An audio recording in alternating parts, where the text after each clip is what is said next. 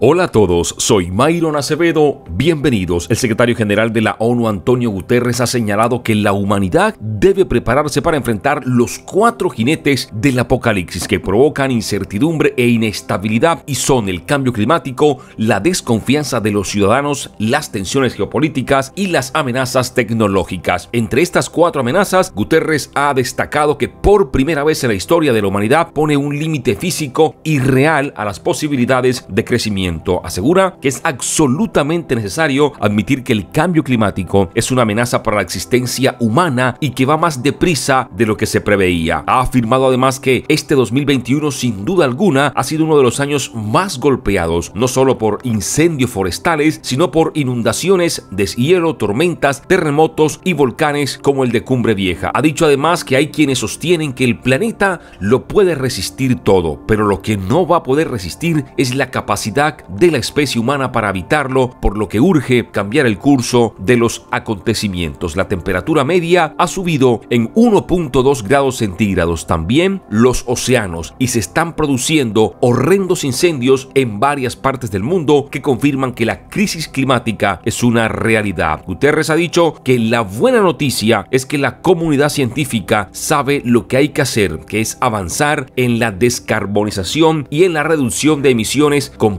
que adquirieron, según él, para el año 2050 y no saben si puede ser tarde para el mundo. Sin embargo, ha dicho, avanzamos muy despacio y todavía las carteras de grandes fondos de inversión están lejos de haber pasado de gris al verde. A pesar de todo, ha reconocido que grandes bancos, compañías de inversión, bancos centrales y el mundo financiero, además de los ciudadanos de a pie, han comenzado a tomar conciencia de este problema que enfrenta el mundo, según él, las consecuencias del cambio climático. Guterres ha instado a los grandes contaminantes a que se comprometan en serio con la reducción de emisiones y ha recordado que el G20 es el responsable del 20% de las emisiones. Por detrás del cambio climático, el secretario general de la ONU, Antonio Guterres, ha señalado la desconfianza de la ciudadanía frente a los gobernantes que ha provocado una oleada nunca antes vista de manifestaciones, protestas y disturbios en más de 100 países en diferentes partes del mundo. Cada una de ellas ha afirmado tiene una explicación y un origen propio, pero hay un nexo en común que es la desconfianza generalizada hacia las élites y hacia el globalismo que no ha hecho sino aumentar las desigualdades y en determinadas circunstancias la brecha de género, según ha dicho Antonio Guterres. Los ciudadanos protestan porque perciben que no se hace nada para reducir la evasión fiscal o el blanqueo de capitales, ha añadido. Guterres también ha mencionado las tensiones geopolíticas y los potenciales conflictos, además de la carrera armamentista. Ha aludido a los riesgos que ha definido como el lado oscuro de las nuevas tecnologías que dejan en muchos casos indefensos a los ciudadanos porque en su opinión es preciso poner orden en el ciberespacio.